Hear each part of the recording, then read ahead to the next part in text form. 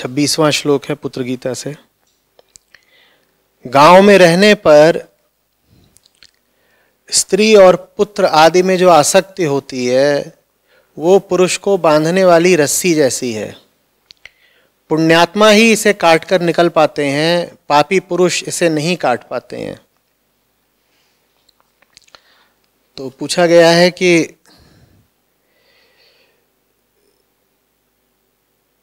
उद्धृत करते हुए कि पुण्यात्मा ही होते हैं जो बंधनों को काट लेते हैं तो हमें समझाइए कि मैं इस बात को अपने जीवन में कैसे देखूँ, जहाँ मैं कई तरह की स्थितियों से परेशान होने लगती हूँ। पुण्यात्मा होते हैं जो बंधनों को काट लेते हैं, उल्टा करके समझिए एकदम आसान हो जाएगा। और कोई पुण्य होता ही नहीं बंधनों को काटने के अलावा। देखिए, पाप और पुण्य तो सिद्धांत हैं, परिभाषाएँ हैं। पाप और पुण्य का अपने आप में कोई आधारभूत अनुभव आपको हो नहीं सकता। बात समझ में आ रही है?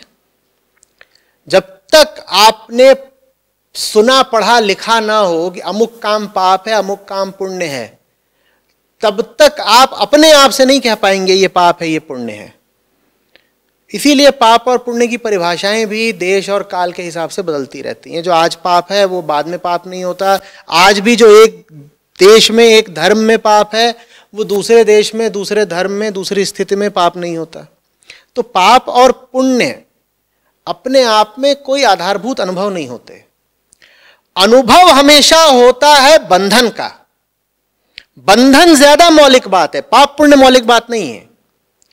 पाप पुण्य तो आपको बच्चे को बताना पड़ता है ना। आपको एक बच्चे को बताना पड़ेगा कि अगर मेज पर खाना रखा है तुम्हारे भाई का और तुम उसको खाए ले रहे हो तो ये बुरी बात है, बुरी बात है। आप उसे बताओगे ना, बुरी बात तो वो समझेगा कि ये बुरी बात है। लेकिन आप बच्चे को उठा लो और उसे गोद में कसकर भींच लो तो आपको उसको बताना नहीं पड़ेगा कि ये बुरी बात है, वो खुद ही चिल्ला पड़ेगा। बंधन का अनुभव होता है, पाप पुण्य का अपना कोई अनुभव नहीं होता। सिद्धांत और अनुभव तो अलग अलग चीज़ है। बात समझ रहे हैं? तो बंधन से शुरू करिए, क्योंकि बंधन आप जानते हैं। बंधन इसलिए जानते हैं क्योंकि वो आपके अनुभव में है। बंधन माने दुख, बंधन माने छटपटाहट। वो हम अनुभव करते हैं। तो बंधन से शुरू करिए और कहिए कि जो बंधनों को बढ़ाए सो पाप जो बंधनों को काटे, सो पुण्य। जो बंधनों को बढ़ाए, सो पाप। जो बंधनों को काटे, सो पुण्य। पाप पुण्य की यही परिभाषा है। इससे ज़्यादा खरी परिभाषा पाप और पुण्य की आपको मिलेगी नहीं। आप इसके अलावा कोई परिभाषा तलाशेंगे तो तलाश तो तलाश की यही मिलेगा कि ऐसे ऐसे काम करो तो पाप होता है, ऐसे ऐसे काम करो तो पुण्य होता है। वो बातें कुछ हद तक सही होती हैं, कुछ स्थितियों में सही होती हैं, पर वो बहुत दूर तक नहीं जाती हैं और बहुत बार तो बिल्कुल गलत भी होती हैं। समझ रहे हो बात को? क्या पुण्य है तुम्हारे लिए कभी भी, किसी भी जगह, किसी भी पल? जो कुछ तुम्हें बंधन से बचाता हो, वो पुण्य है।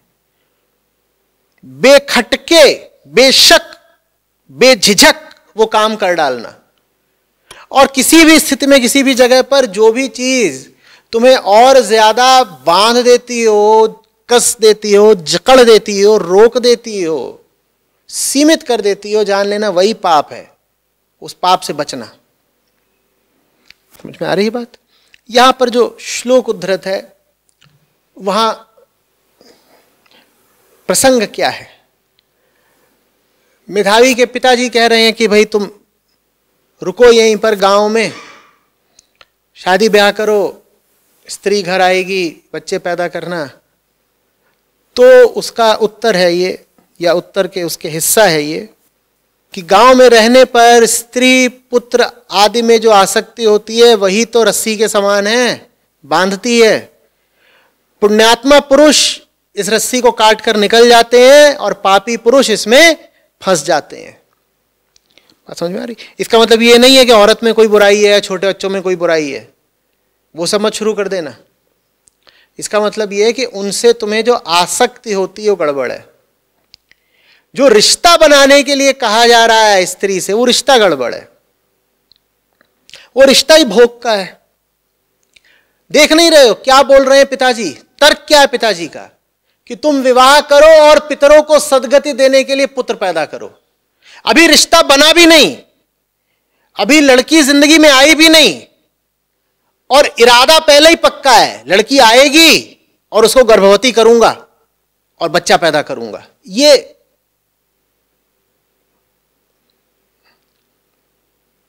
अश्लील बात है।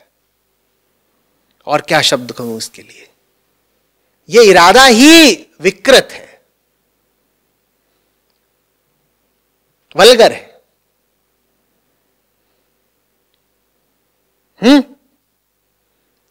और ये बात तुम किसी स्त्री से उसके मुँह पर क्या भी नहीं सकते। तुम जाओ किसी से बोलो कि वो मैं तुम्हारे पास इसलिए आया हूँ क्योंकि अपने पितरों की सदगति के लिए मुझे पुत्र चाहिए। फिर देखना क्या होगा। तो भले ही पिताजी पीछे से ये चाबी भर के भेजें कि पुत्र पैदा करना है, ना पितरों की आत्माओं को शांति नहीं मिलेगी तो चलो लड़की खोजते हैं। पर ये तुम भी जानते हो कि लड़की से उसके मुँह पे ये नहीं बोल पाओगे। उसके मुँह पर तो ये बोलोगे, मैं तुझसे प्रेम करता हूँ और मैं तुझ पे जान दे दूँगा। दिलरुबा है जाने तमन्ना है, वो मेरी प्रेसी। सौ बातें बोलोगे। और भीतर ही भीतर इरादा ये है कि जल्दी से आत्माओं को शांति देनी है ना। आदमी अपने भोग के लिए कितनी कहानियाँ गढ़ लेता है कि पितरों को शांति तब मिलेगी जब हम बच्चा पैदा करेंगे। काय भाई? पितरों ने भी तो बच्चा पैदा किया था ना। अगर बच्चा पैदा करने से शांति मिलती होती तो उन्हें पहले ही मिल गई होती। वो अभी भी अशांत क्यों है? तुम्हें नहीं समझ में आ रहा कि अगर वो अशांत है, इससे सिद्ध क्या हो रहा है? पितर महाराज सब ऊपर अशांत बैठे हैं, तुम्हारे ही मुताबिक। तुम कह रहे हो, उन्हें शांति देनी है, माने अभी वो कैसे हैं? अशांत है तो कुछ करतूत करी होगी, तभी अशांत है। क्या करतूत है? उन्होंने तुम्हें पैदा किया। जब तुम्हें पैदा करके वो अभी तक अशांत बैठे हैं तो तुम बच्चे पैदा करके उन्हें शांत कैसे कर दोगे? पर इसी तरीके के तर्क चल रहे हैं। और ऐसे तर्कों को मानने वाले भी बहुत हैं, क्योंकि तर्कों को मानने में बड़ा सुख है। तर्कों को मानने के पीछे बड़ा स्वार्थ है। क्या? थोड़ी बहुत बहस करो, फिर तर्क मान लो, क्योंकि तर्क मानोगे नहीं तो औरत मिलेगी कैसे? दिखाओ यही कि नहीं, वो तो हमारा मानने कोई इरादा नहीं है। हम्म? मुँह में रसगुल्ला दाब रखा है। मज़ा आ ही रहा है। और चेहरे पे ऐसा दिखा रहे हैं, बड़ी कड़वाहट है। यहाँ रस जा रहा है भीतर ही भीतर मन में। हाँ हाँ ठीक है, आप कहते हैं तो करे लेते हैं। बात समझ में आ रही है कुछ? मुस्कुराए बिल्कुल। पूछा है कि अपने जीवन में कैसे इस बात को देखूँ? अपने जीवन में कुछ और मत देखिए, बंधन देखिए।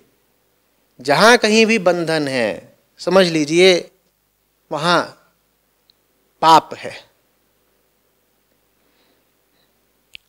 बंधन पाप है और बंधन चुनाव है। पाप पुण्य आपके चुनाव की बात है। मत चुनिए। बहुत बड़ा बंधन तो हम लेकर ही पैदा होते हैं। अब और ज़्यादा क्यों चुनने?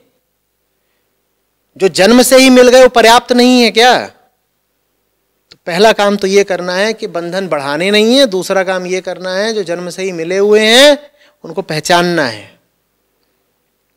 उनको पहचानना है और मेहनत कर करके, साधना कर करके उनसे मुक्ति पानी है। यही जीवन का उद्देश्य और क्या? है